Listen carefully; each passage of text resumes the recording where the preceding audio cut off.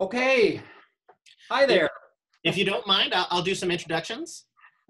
Please. So, uh, I'm making this podcast for the, the students at Port Angeles High School and the school district, and I'm hoping to share this with more people, uh, likely, uh, since this weird time we're kind of in need of content, but not too many people producing. So I've kind of gone around asking all the people that I admire and respect in different fields that have different um, areas of specific expertise uh, to maybe give us some uh, material to work with for our students.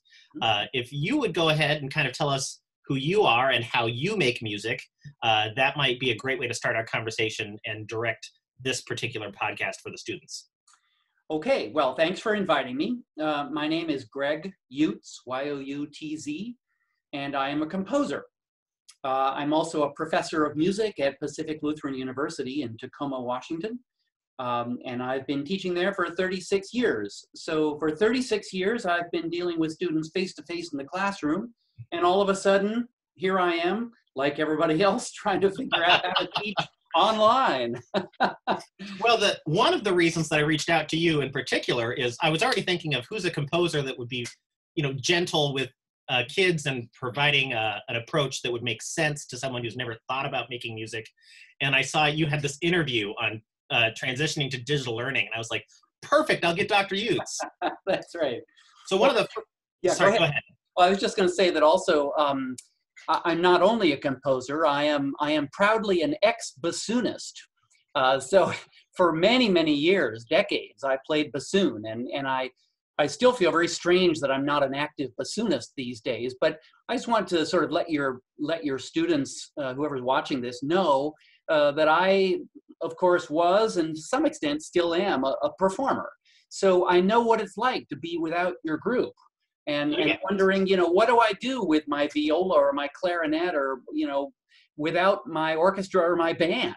um, it's like is there anything a musician can do all by themselves and i think that's part of what this is about um, and so yeah I, I, have some ideas on kinds of things that we can do well that's my first question is you're a musician and your whole identity especially for many of my students at our school with the program that we have a big part of their identity is that i am an orchestra student so they're still an orchestra student we still have school more or less uh, but that identity is kind of uh, see through right now. So right. how does a musician find identity when they don't have an ensemble? Yeah. Well, I'd like to ask your students a, a kind of a deep question. And that question is to what extent are you a musician in an orchestra because you love your instrument and you love the music? Mm-hmm. And to what extent are you a musician in an orchestra because you like the social activity of making this sound together? And the latter we cannot do at the moment. I mean, you could mock it up with a kind of a, you know, go online and find a computer accompaniment and play along with it. These kinds of things exist, but that's not the same thing. And you know it and I know it. Um, so that leaves us with the first part of being a musician, not the social activity of of making music with your friends and enjoying the being in the middle of of making this sound, but rather you as a musician trying to produce to the best of your ability beauty in sound, mm-hmm. right? And and also understanding that as a classical musician, more than in jazz or in popular music, as a classical musician, you are serving the music. Mm-hmm. It's kind of what we do, right? I mean, we get the music, somebody's already composed it, it's published, it's printed, the conductor has studied it, we show up ready to play, and then, you know, what are we playing? so, so you know, I think I think the often, and I remember this very well from my days as a bassoonist. Very often, we can play the notes, and we know maybe through listening to a recording, or maybe because our conductor has told us, we know how to play it right. Right. So more or less, the music has already been made. Right. The music has been made, and we're supposed to kind of replicate it. Mm-hmm. But the question is, how much do we actually know about this music that we're trying to play beautifully? And maybe this is something that we should be investigating during this kind of ensemble timeout. What are we actually playing and how do we play it beautifully? I was just on, uh, there's a great group on Facebook for orchestra teachers uh, in the country. Uh, and we throw some ideas around all the time. And uh, I was hearing a few people talking about cool things coming out of this time. And uh, somebody out in the Midwest is just scheduling 15 minute lessons with each student throughout the week. Mm-hmm. And that we never would have time for that regularly. So, despite the inconvenience of not having regular rehearsals, it mm-hmm. opens this opportunity to explore a lot of the things that we wouldn't have had time for, like music analysis, maybe even some composition. Maybe we'll get to that today, uh, and examining the music at a deeper level. I think a lot of my students don't even know the composer to a lot of the pieces that we play. They just know it by the title. Exactly. just exactly. getting into that could be a, yeah. a, a, a deep dive for them. Yeah. Yeah, I'd like to suggest, and getting back to the idea of lessons as sort of a timeout thing to do, um, I'd like to encourage students to move beyond what I think is the habitual kind of student approach to lessons and, and to just your own uh, playing and improvement of your playing, which is to say, oh my gosh, I've got a lesson on Tuesday, I better practice really hard on Monday, right? And because I've oh, somehow yeah. got to pass this test with my teacher and not look like an idiot. Um, or you know for those of you who don't take private lessons but just come to orchestra twice a week or whatever you do you know suddenly the night before orchestra rehearsal you quickly dash through some things and hope you don't mess up too badly in front of your friends mm-hmm. well maybe this is the time for us to really take stock of, of our own responsibility to our playing for instance, um, many of us would much rather play our licks from Tchaikovsky or Borodin or whatever than we would practicing scales, right? Oh yeah. Scales and arpeggios, and sounds like, well, it's kind of like hard work. I can't wait to get to the good stuff. But what I'm suggesting is if you were to think about playing an A major scale on your cello and, and playing it in such a way that every single note was incredibly expressive, could you, in fact, play your scales at various tempos and, and your arpeggios? Could you play them gloriously, beautifully, sensitively. Could you play an A major scale so that it sounded heroic? Could you play one so that it sounded like you were deeply in love and telling somebody how much you loved them? Could you play that same A major scale as though you were full of joy? Why not? And then do the minors. Could you make a A minor scale sound scary, ferocious, could you make it sound sad? Could you make it sound tender, nostalgic, right? Choose these kinds of words and play your scales with these kinds of things in mind, taking into account that you're going to shape a phrase out of this maybe two octave, three octave scale. And it's going to begin and it's going to build and then it's going to sort of finish in some amazingly musical way. I mean, there's a way to, to do something all by yourself without your ensemble that will make you a better musician so that when we all get back to our ensembles, we'll look at each other and go, wow, what happened to you? You sound fabulous. Fingers crossed. Fingers crossed. Knock on wood. yeah. Yeah. Alrighty. So um, that that's sort of an introduction to the the kind of conversation we're going to be having today. Uh, just as a starting point, uh, I want to know how did you make the transition to digital? What kind of resources did you need? Uh, and maybe also some uh, perspective from maybe feedback you've had from your students on how they got used to this format and any bumps you've you found along the way. Uh, just kind of a, a, a quick summary of, of that transition. Yeah. Well, in the in the musical field, um, of course, there's sort of unique technology that that has been developed and and and we all learn to use, and and so that has been terribly useful. Um, we have course websites at PLU, probably the way you may have class websites in high schools. Um, and some teachers are more kind of hip and into that, and some really not so much. Um, I found in some ways I was very lucky to have gotten into it about five years ago and spent quite a bit of time putting a lot of my course content online on these course websites, which allowed me to do what educators call flipping the classroom, which Mhm. means instead of me standing in front and telling students stuff every day and them writing it down, instead the content is pretty much available on the website. And then my job in the classroom is to get them to do something with it, talk about it, uh, try stuff. In the case of music classes, go up to the board and write some stuff on the staff lines on the music paper uh, on the board, and then you know everybody sort of talk about it and fix stuff. And so, um, so I, I have been able to uh, use the technology to basically deliver the, the, the basic information or techniques or whatever, uh, and then students are able to interact in a classroom. So I find that we're still able to do that. The students still have the content on the website. Um, they are still able to interact and, and um, I, I can share my screen with them, for instance, during a video conference so they can see the, the student assignment that I have pulled up on my a computer and then everybody can talk about it and we can even play it. We're still struggling to get good sound, uh, but, but I think we're beginning to solve that one platform over another platform or something.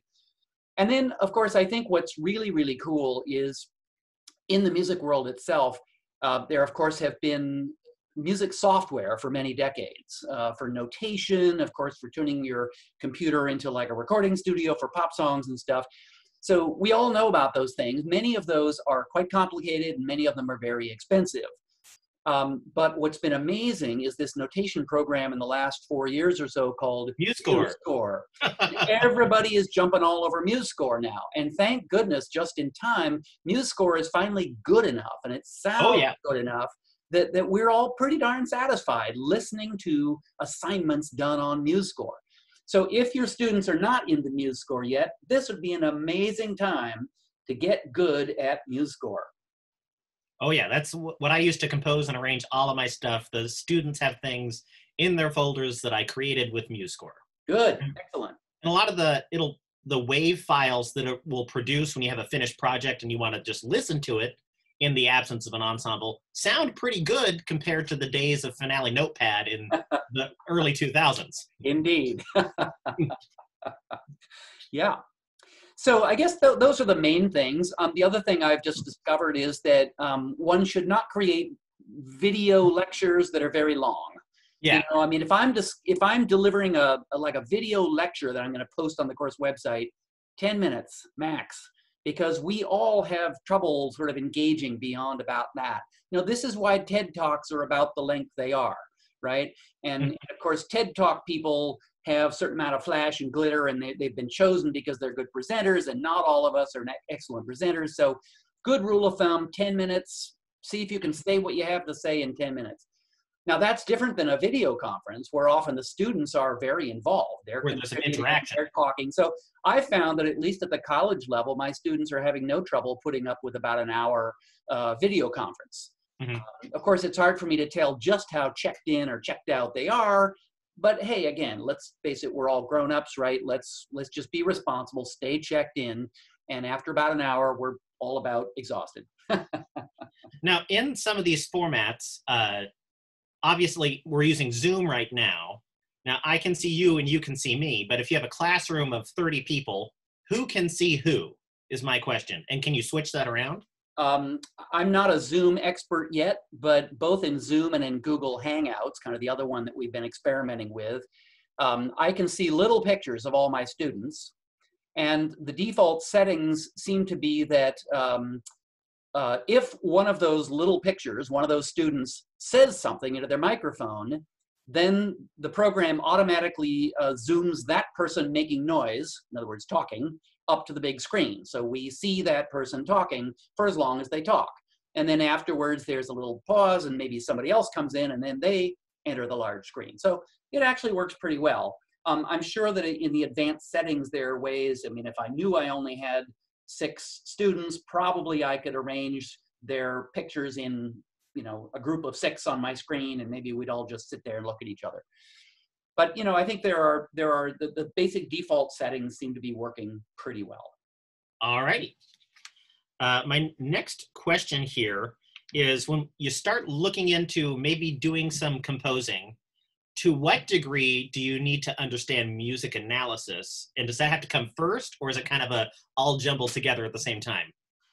Well, I think I'm a good example of somebody who began composing as a performer mm-hmm. and knew nothing about theory. I'd never heard of a triad. I didn't know what a harmonic progression was. I couldn't put a Roman numeral underneath the chord to save my life. Um, but I, like any musician who's grown up playing in ensembles, I've got music in my head.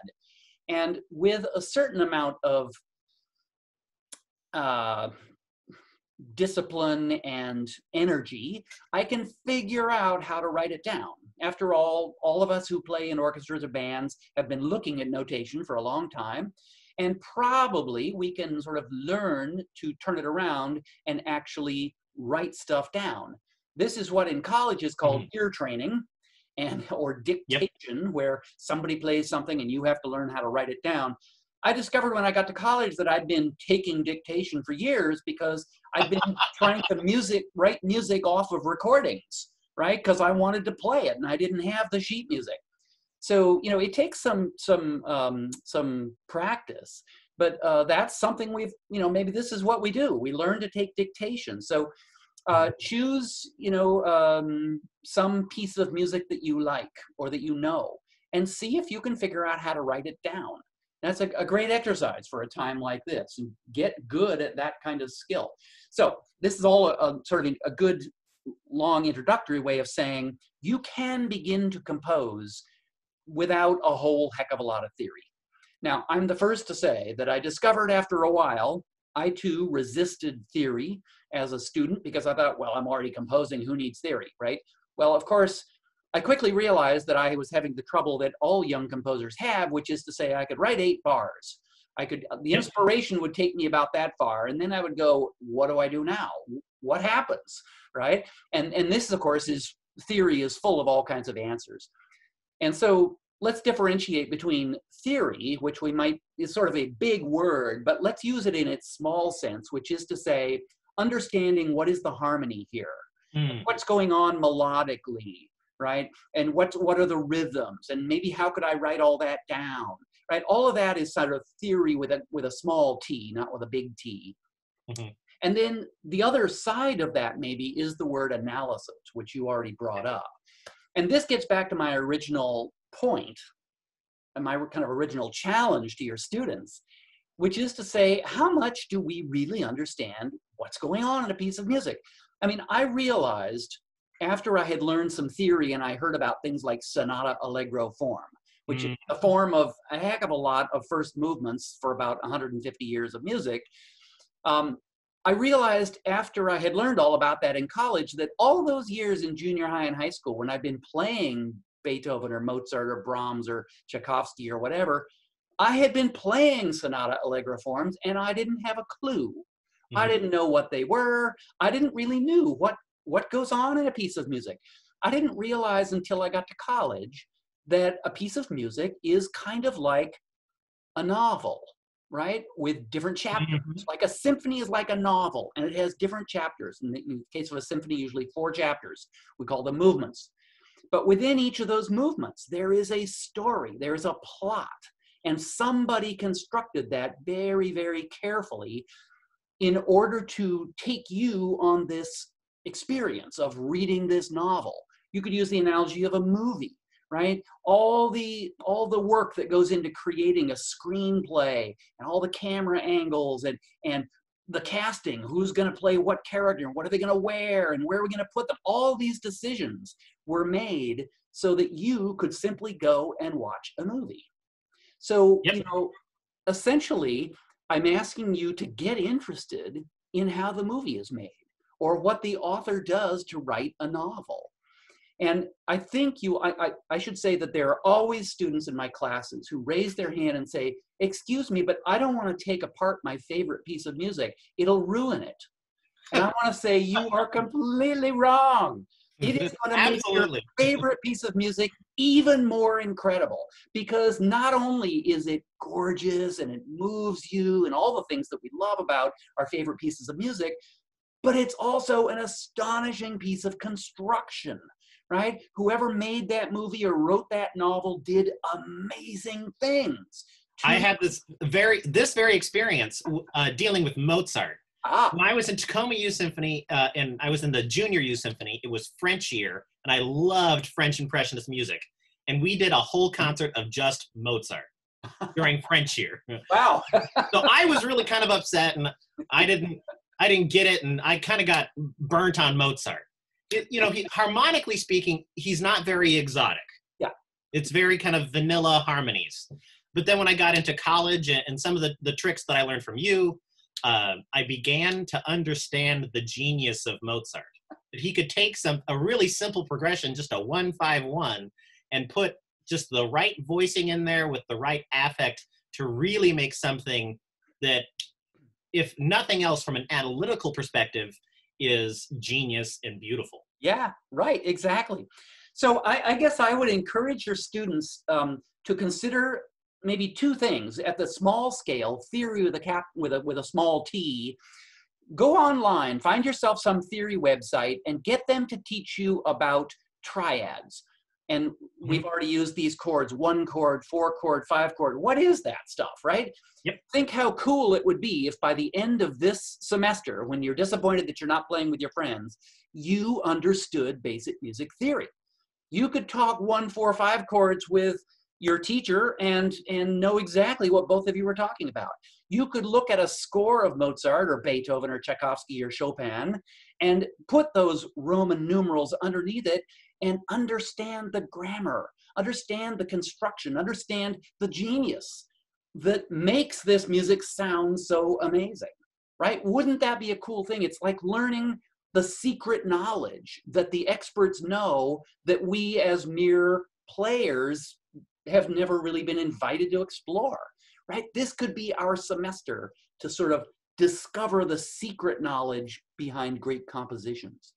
And then how do we take that beyond, you know, these eight bars and understanding this chord progression? And this is the bigger world of analysis. Take yes. apart some piece of music that you like. Maybe it's a Beethoven symphony, maybe it's the Grieg piano concerto, maybe it's Night on Bald Mountain, maybe it's I mean it could be anything. It could be a pop song, right? And and and figure out what what are its let's say sections. Does it have an introduction? Does it have a first theme? Does it have a second theme? Is there a transition between the first and second theme? Maybe because it's modulating from one key to another. Or is there suddenly a double bar with repeat signs? That probably tells you this is a sonata allegro form. Mm-hmm. If so, you're probably going to go back and do that first section again. The second section is probably where the plot thickens. We call this the development section, right? And then at some point, you're going to notice, oh, the opening is back. That's called the recapitulation. I didn't know any of this when I was merely a bassoonist, but now that I'm a composer, this is like what I make, right? Mm-hmm. So understanding at the larger levels, what's going on in a piece of music. And fortunately, this is getting back to the technology that we have that allows us to do this so beautifully these days, even on our own. YouTube is, of course, absolutely chock full of classical music with scrolling scores. Yep. So you can put on, let me recommend something like the second movement of Beethoven's Seventh Symphony. Oh, yeah and it's an it's a very slow kind of uh, uh, series of string chords that go on. I, and then uh, many of my students that are watching the Port Angeles High School goes to Carnegie Hall every four years. Nice. The last time they went, my, uh, one of my predecessors, Ron Jones, arranged the second movement of Beethoven Seven with all the wind parts in the strings. Excellent. And so that was one of the pieces they played in Carnegie Hall. So my my yeah. seniors will know that piece well. Very good. Well, you know, take that a piece apart, look at what is the chord progression in there. And then, since it's sort of a series of variations over this chord progression, mm-hmm. uh, take, take a look at, at what are each of those sections? How do they build on each other? If you were to think about how the energy sort of goes up and down over time, you know, what is that's kind of like the the excitement of, of a particular area of a plot or maybe there's kind of a relaxed place in the plot and then it gets thick again right? Think about what this music is doing to you emotionally, and then ask yourself, how does the composer make that happen? Right? So this is analysis. So this isn't just what chords are these? How do I put Roman numerals under things? But this is literally the big question. How does the composer make my experience happen? What instruments do they choose to use? What are the rhythms? What are the textures? right? I mean, for instance, is it a tune with a bunch of chords underneath it, the way a pop song is, the way a march is, the way a dance might be? Or is it counterpoint, like a fugue, right? Where Bach has all these different tunes sort of weaving around on top of each other simultaneously. That's a very different texture. Mm-hmm. What's the orchestration? Right? Uh, compare a Tchaikovsky symphony movement with a Brahms symphony movement. Very different uses of the mm-hmm. orchestra. Right? So all of this is the kind of thing that we can be doing using the technical resources of YouTube to not only listen to anything, but to actually follow the score. This is something else you could think about. You know that your teacher, the conductor, has this big book up there that has everybody's part in it. Have you ever looked at one of those things very carefully? If mm-hmm. not, go on YouTube and get good at following these scores and see if you can figure out, oh, what instrument is that? I think it's an oboe. Ah, there's the oboe tune. Oh, now it's in the horn down here. Aha. Where are all of these instruments? All right, in, in an orchestral score. So these are these are again things that are so easy for us to do now that we're on our own, we've got sort of unexpected time.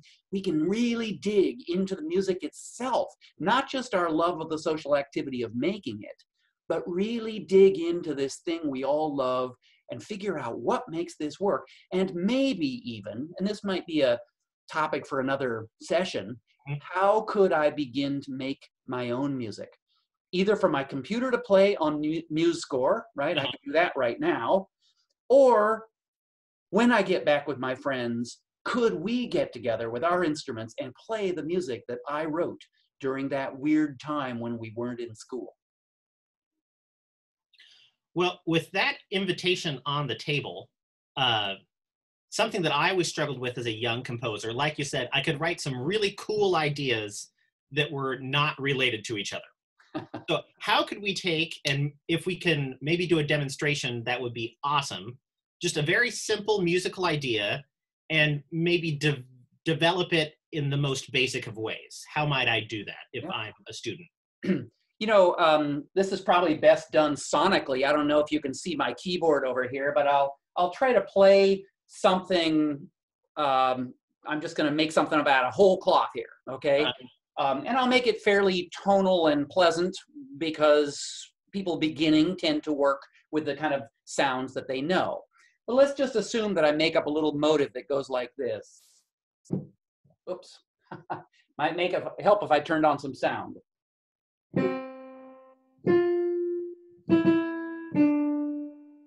Okay, I'll play it again.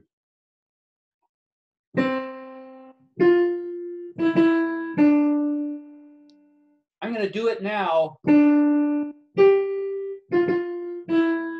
Aha! Now this is starting to sound more like a tune.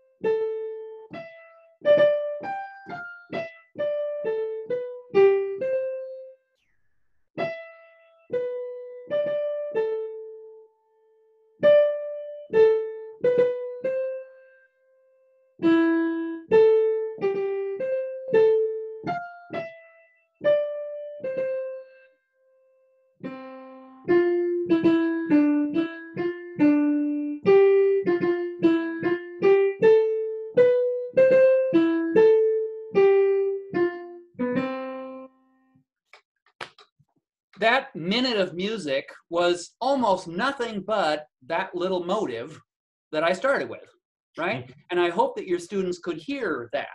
Yeah. sometimes it was leaping up and going down. Sometimes it was leaping down and going up. I turn it upside down. So sometimes I take that little bit and I just move it around a little bit, right? So, so what makes our ear identify that motive as the same thing when it's moving around? Well, I think this gets into the kind of the, the psychology of music perception. And, and the big word for me is pattern, mm-hmm. right? music is essentially sonic patterns. So I can take this and then I can move it around.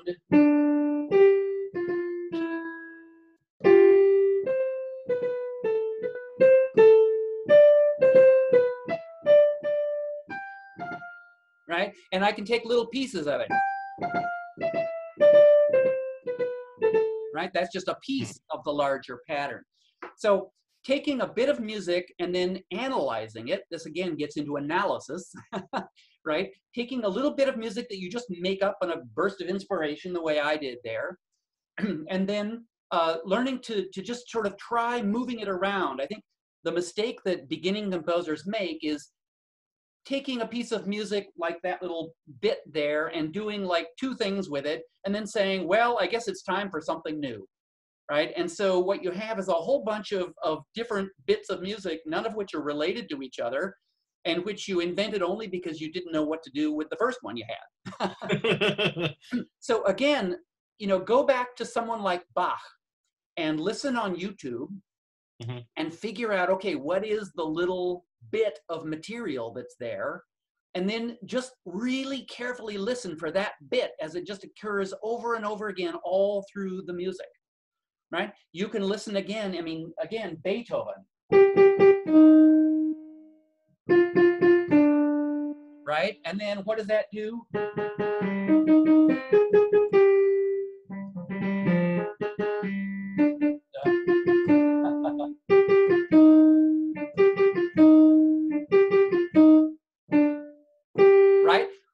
So, I mean, it is nothing but that little opening bit over and over and over. Brahms does the same thing. So um, yeah, that's working with these little tiny motives and then turning them into larger things. Mm-hmm. Let me get to another really important element besides the word pattern, which is the word. Um, well, I think it's it's connected with the word phrasing. Mm-hmm. Um, how do you build a phrase? Let's say you're thinking melodically. And I think you build a phrase through what composers sometimes refer to as structural pitches. So for instance, if I do this, right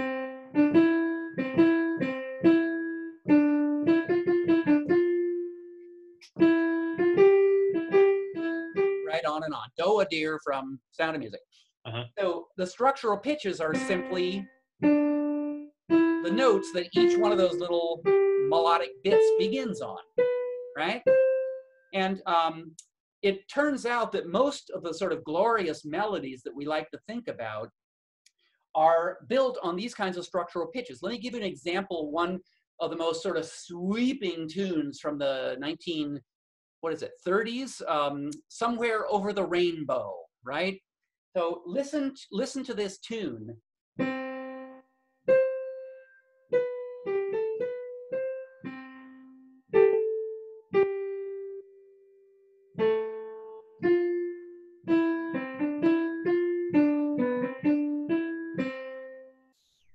Think about the structural pitches, I'm going to hold each note this time so you're aware of it.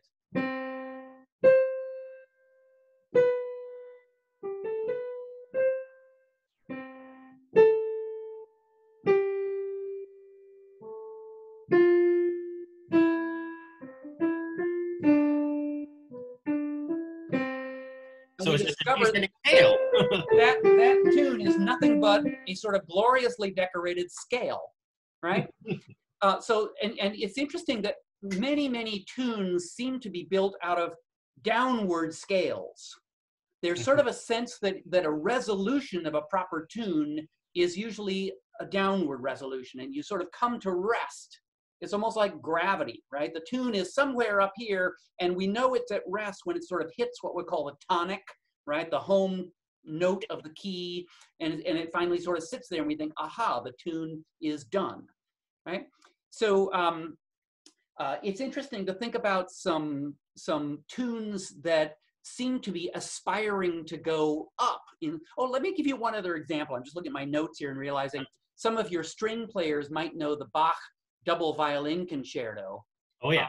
Um, and um, let me just think about. Um, um let's see. Um, hmm. let's see. Uh, oh, I'm just drawing a blank here. um,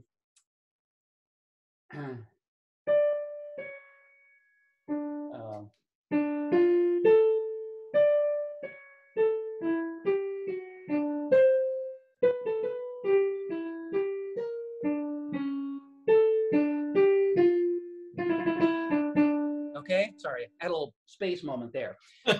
And think about that tune and watch me emphasize with duration the structural pitches. Uh, sorry. Uh,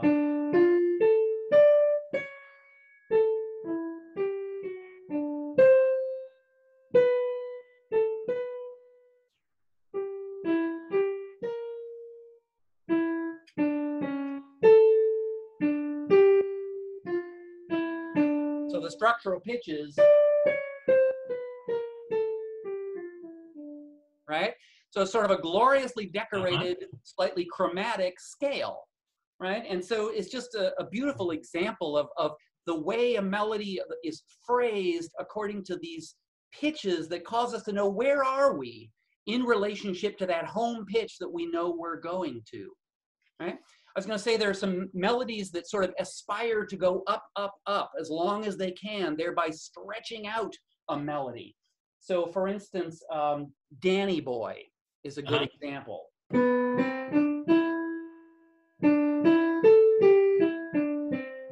Sort of goes up and back down.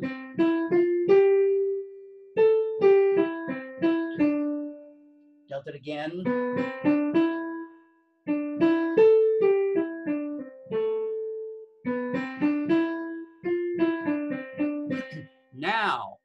Goes up. We've never been up here before. Do it again. This time. Oh my gosh. And then let it gently sort of drift back to its home pitch.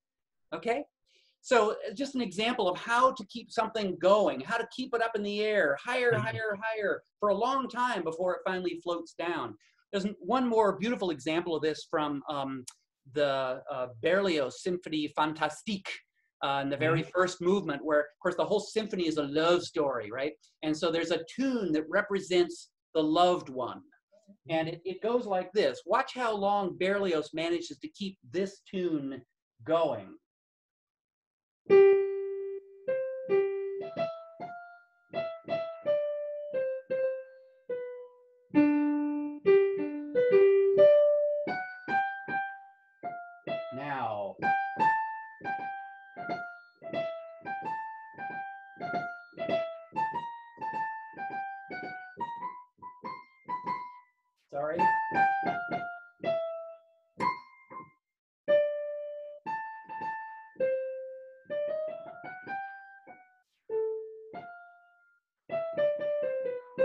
Finally drift. That's a long, long shaggy dog story of a melody.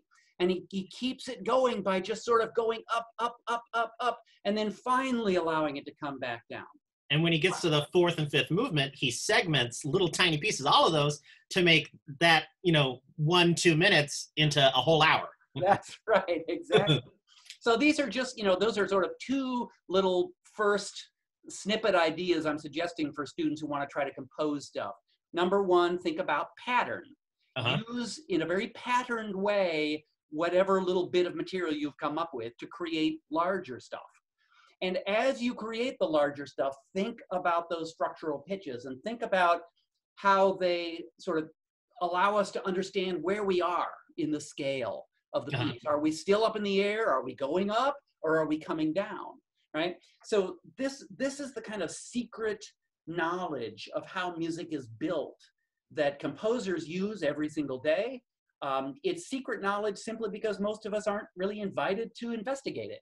But it's out there, and Yeah. maybe maybe this is the time for you to go find that YouTube video about Roman numeral analysis of triads, or about the analysis of a whole movement, or about how you could build a melody out of bits of motivic material using pattern and structural pitches and see how long you can carry it out. Well, as we reach sort of the, the denouement here of our conversation, uh, let's say I'm a, a punk 17 year old violist and uh, everybody has been doing Western music since the 1500s and I know how it works and I'm bored of it. What would be some things to search for ways that other cultures make music? If just some links or maybe some things to search on YouTube, where might I look to see the way that other cultures make music? Sure. I was going to say, even before you step outside of Western culture, check out like the Kronos String Quartet. Oh, yeah. K R O N O S. And look up how they play uh, Purple Haze by Jimi Hendrix, right? And, and you'll discover viola techniques you didn't know you had, right? I mean, playing with a sort of a dirty, gritty sound right near the frog, lots of down bows, um, slithering, sliding, letting the bow skate across this. I mean, invent stuff, right? um, and then, of course, um, the Kronos Quartet is also a great guide into world music because they, more than any other string quartet, have commissioned composers from all over the world to write music for strings, which um, uses techniques found in China or in you know sub-Saharan Africa or the Middle East, using like you know microtones. Uh, I mean, all these kinds of things that that are there. Um, yeah, go on YouTube and and uh, look up the Chinese erhu. That's E R H U, and look at how the erhu, which only has two strings, and the bow is actually forever caught between the two strings, which is kind of cool. Um, and how they slide around. We don't tend to slide around very much in Western string technique. Um, but but they do it all the time in in Chinese music, in Arabic music from the Middle East, um, and of course in blues. I mean, go online and find an old uh, recording of Stéphane Grappelli, the jazz violinist from the 40s and 50s, um, and watch him slide around. Why? Because he's a blues player, right? Jazz blues uh, violin. So yeah, check out all these all these musical traditions, and this will be a great time to spend some time with your your instrument, uh, looking around for new things you can do. Of course, I, uh, you know, there's always volume. We've grown up in the world of amplified sound. So maybe check out George Crumb's amplified string quartet called Black Angels. George Crumb, spelled just like C R U M B, and, mm-hmm. uh, and turn it up loud and see what a rock and roll uh, string quartet can sound like. All right. Well, I, that's pretty much all the questions that I had for you for this discussion. I think we've opened up a lot of doors for uh, future discussions that might need uh, more focused attention. Uh, is there anything else that uh, you would like to contribute or say to my students during this time of weirdness? Well, I think that we're just all trying to give you ways to stay active, stay, you know, stay feeling like a musician in the absence of your ensemble. And I guess my the main advice that I've given to my students at PLU is since we cannot do what we expected to do, um, think of something that we can do during this time period that is within our control and that we might not ordinarily have taken the time to do and will leave us in three months or so when all this is maybe over leave us looking back on ourselves and feeling terribly proud of ourselves for having accomplished that. You know, maybe it's just learning to take scales and arpeggios seriously and to make them beautiful. Maybe it's learning how to compose, or maybe it's learning new string techniques from other parts of the world, right? I mean, any of these things are absolutely wonderful things to do. Choose something that, that is under your control and choose something that's sort of finite so you have a sense of accomplishment, right? Don't say, I'm going to learn to write symphony number one. That's too big learn say to yourself i'm going to write um, i'm going to write a viola cello duet for myself and my friend so when i finally see my friend again we can play this thing right and if you manage to pull that off first of all you will have learned a ton by doing it about software about theory about analysis all kinds of things and you will feel really proud of yourself that you now can do that i mean my gosh when i first discovered that i could compose I thought the world had cracked open and it was a completely different place. It was kind of like, wow, I can write music. It's like a whole new world.